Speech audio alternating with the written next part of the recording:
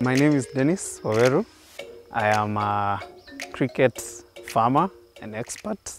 Uh, I work in Insectipro as a cricket farm team leader.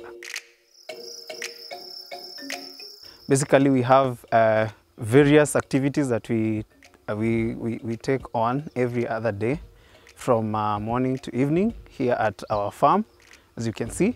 Uh, because of our different sections that are involved in cricket rearing from the moment we have our eggs to the moment that we have an end product that we are able to present in the market.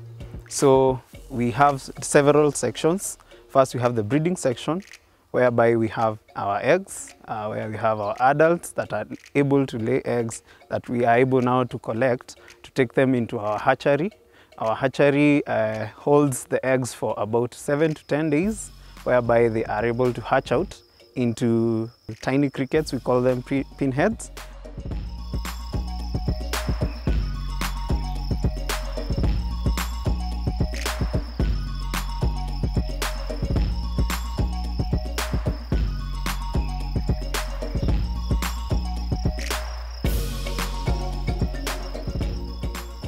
Once they are hatched, we have a whole team that is able to be able to transfer that into the feeding part, which we call the rearing part, uh, whereby uh, every day we set around 50 and above crates uh, as our target, uh, which get into rearing.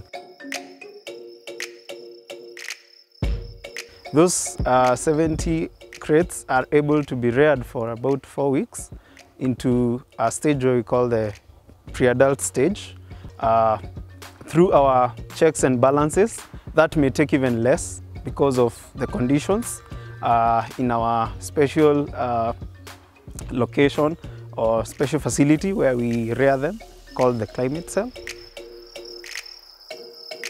This facility is able to hold uh, uh the, the crickets at uh, uh, optimum temperatures of around 27 to 30, whereby uh, that is optimum for them to be able to grow uh, and take that short time, as opposed to when they would be in the free range, where it would take a longer time.